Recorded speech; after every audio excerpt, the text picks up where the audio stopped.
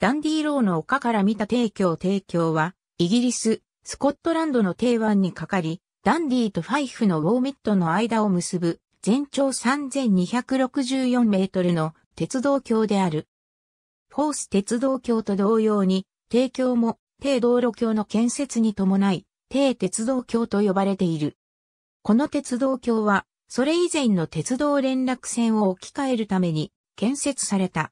ダンディー側から見た提供初代の提供初代の提供は19世紀に建設された。低川を横断する橋を建設するという提案は少なくとも1854年にまで遡る。ノースブリティッシュ鉄道と提供の建設法案は1870年7月15日に国王裁可を受けて、書籍は1871年7月22日に置かれた。設計は有名な鉄道技術者であるトーマス・バウチによるもので、彼は橋の完成後機種の称号を受けている。橋は中鉄と連鉄を組み合わせた格子構造になっていた。この設計はケナードにより南ウェールズのクラムリン高架橋で1858年に最初に用いられ、続いて画期的な中鉄の使用法で知られた水晶宮でも用いられてよく知られたものであった。しかし水晶宮は鉄道橋ほど負荷がかかるものではなく、鉄道橋では D 橋がまずい中鉄ガーダーの使い方のため1847年に崩壊した例がある。後にギュスターブ・エッフェルは同じような設計でフランス中央高地にいくつかの大きな高架橋を建設している。だが、橋が湾中央に向けて建設されていくにつれ、湾に関する調査が正確性を欠くことが明らかとなった。岸のそばでは、浅い位置にあった岩盤は次第に深くなり、最終的に橋脚を立てるには深くなりすぎてしまった。バウチは橋脚の再設計を迫られ、下に支えがないことを保証するため湾の底により深く橋脚を打ち込まなければならなかった。また、彼はそれまでよりもガーダーのスパンを伸ばすことで橋脚を削減した。これによりガーダーは風の影響を無視できる長さを超えてしまったが、バウチはこれを無視した。最初の列車は1877年9月22日に橋を横断した。その後1878年初頭に橋が完成すると当時世界一長い橋となり、同年6月1日には開通を迎えた。この町を訪れていたユリシーズ・グラントは、この橋について小さな町に対しては大きな橋とコメントしている。落橋した提供を北側から見る1879年12月28日の夜、イギリス北部を強い嵐が襲った。19時頃の気圧は982ヘクトパスカル、風速は毎秒30から35メートルと推定されている。ただ残った鉄骨の上向きに引きちぎれた状況から竜巻が起こっていた可能性も推定されている。嵐の中で橋の中央のハイガーダーと呼ばれる区間が走行中の列車を巻き込んで崩壊した。75名が死亡したとされ、この中にはトーマス・バウチの義理の息子も含まれていた。60人の名前の分かった犠牲者のうち46人のみ遺体が発見され、このうち2人の遺体は1880年2月になってから見つかった。行方不明者も多く、正確な犠牲者数は乗車券の販売数を厳密に集計することで算出された。この中には遠くロンドンのキングスクロス駅からのものもあった。ダンディーにおける19世紀の一般的な都市伝説の中にはカール・マルクスはこの列車に乗るはずであったが、病気で旅行に出られなかったために実際には乗車しなかったというものがある。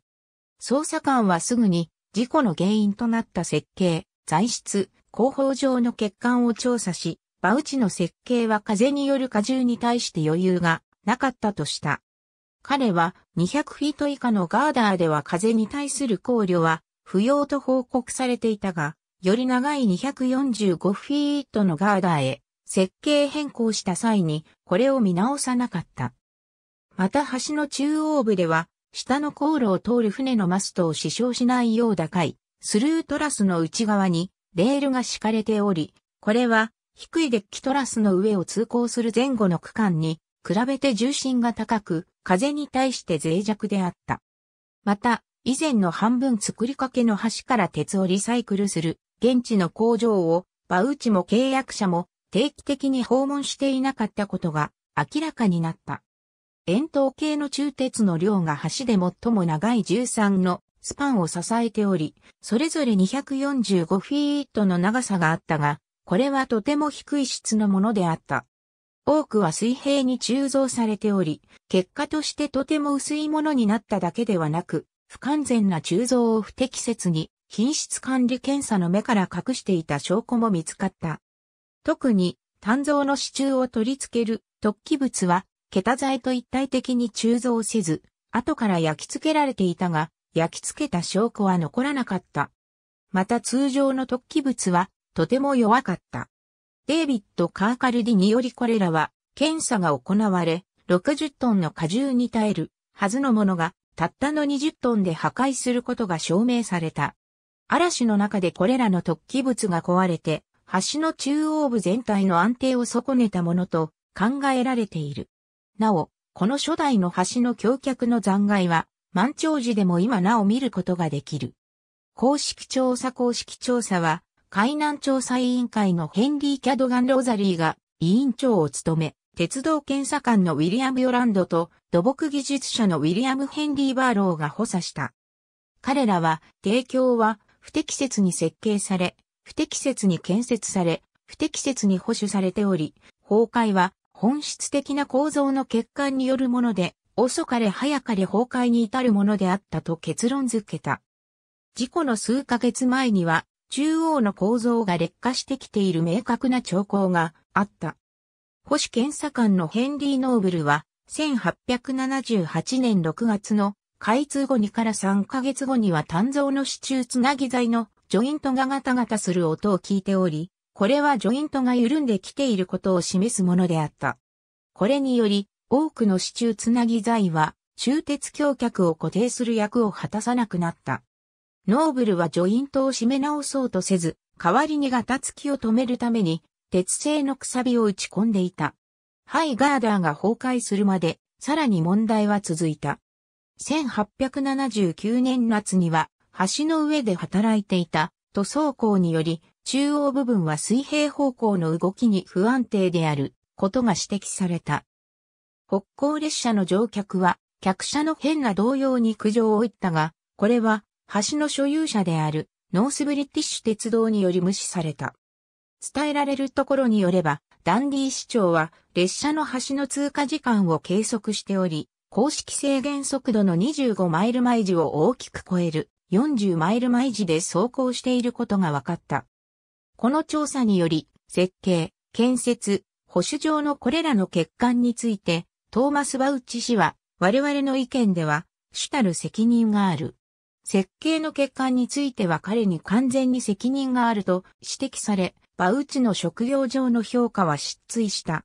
同じ線で計画されていたフォース鉄道橋に対するバウチの設計に関わっていた取引委員会は、1平方フィートあたり56ポンドの使用を課した。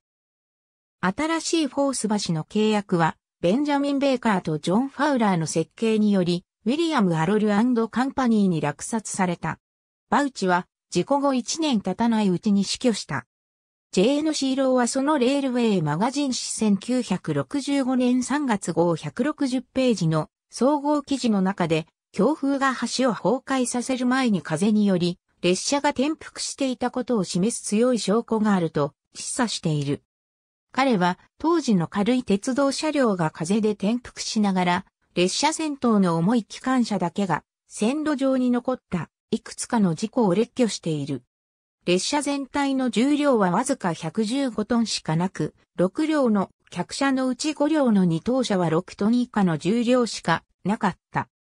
当時の調査では、この車両を転覆させるために必要とされる風の力は1平方フィートあたり36.6ポンドと推定されていたが、ローの再計算によれば1平方フィートあたり27.7ポンドであった。これに対して、当時の調査でも橋の構造が危険になるには、最低1平方フィートあたり33ポンドの風圧が必要と推定されていた。さらにローは、列車が引き上げられた時に、最後の2両の客車ははるかに大きく損傷していたことを指摘した。それゆえ、彼はまず列車が脱線してそれが、ハイガーダーの崩壊を引き起こしたと主張している。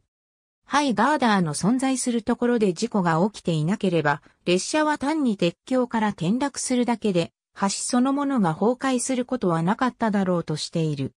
ローは、バウチにも橋の建設品質に関して責任がなかったとは言えないとする一方で、バウチは調査で不公正にスケープゴートにされたと見ている。この主張は、ローのオリジナルのものではなく、バウチによる反論でも提出されている。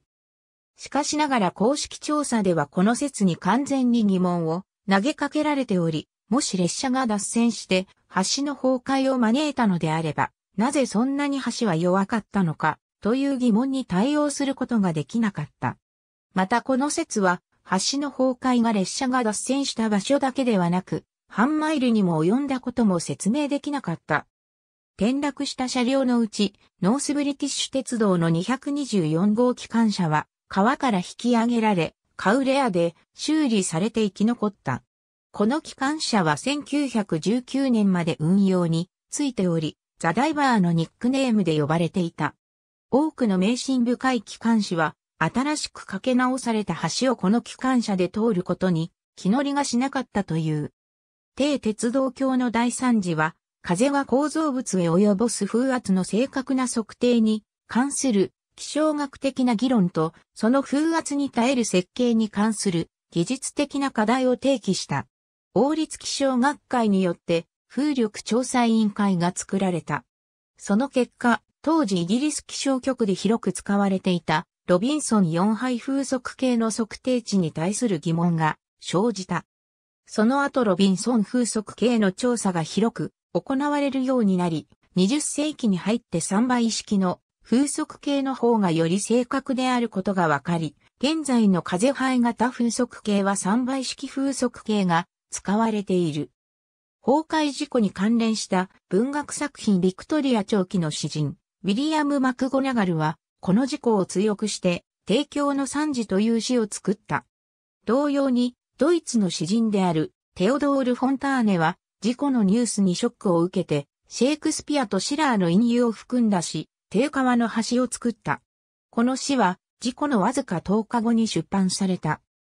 スコットランドの作家、A.J. クローニンの1931年の小説、帽子屋の城には、提供の事故のシーンが含まれており、1942年の映画化に際しては、橋の崩壊がドラマティックに再現されている。ルース・レンデルの2002年の小説、ザ・ブラッド・ドクトルでも橋の崩壊が重要な位置を占めている。スコットランドのおとぎ話や幽霊話を収集して再編する作家である、ソーシー、ニック・レオダスは、ザ・テイブリッジトレーンほど上流に並行してかけられている。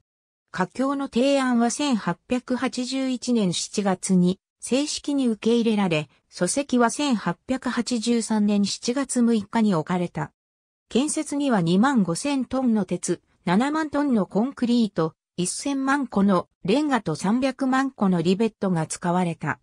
14人が建設中に主に溺れて事故死した。二代目の橋は1887年7月13日に開通し、120年以上経過した現在も用いられている。2003年には2085万ポンドを投じた橋の強化、再生プロジェクトがその巨大な規模と関連したロジスティクスによりイギリス建設業界土木賞を受賞した。1000トン以上の鳥の糞が手作業により橋の鉄骨からこそぎ落とされて 25kg の袋に詰められ、10万個以上のリベットが取り替えられた。これらのすべての作業は露出した環境下で潮の流れの速い湾の上のかなり高い場所で行われた。二代目提供の全体写真なお、テイブリッジはエリザベス・ボーズライアンの葬儀計画のコードネームにもなっている。提供崩落事故に関するカテゴリー。ありがとうございます。